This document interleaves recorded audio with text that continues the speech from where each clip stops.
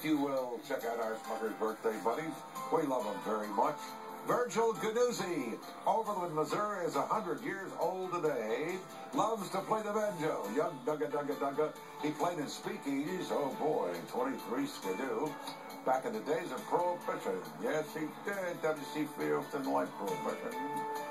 Beautiful Geraldine Palmer from Garfield Heights, Ohio is 100 years old today. She loves to go fishing and very active in her church. Uh, she fishes for souls in the church and fish in the river. Hamlet Campagna, how about that?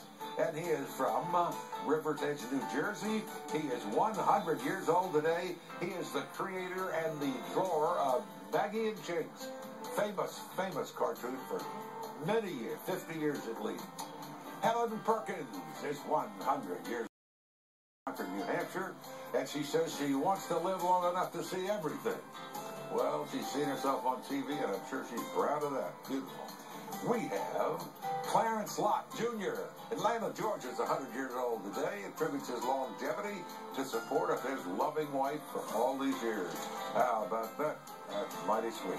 And again from Smuckers, there is the charming, and exciting Polly Chandler from Heber Springs, Arkansas, 100 years old today.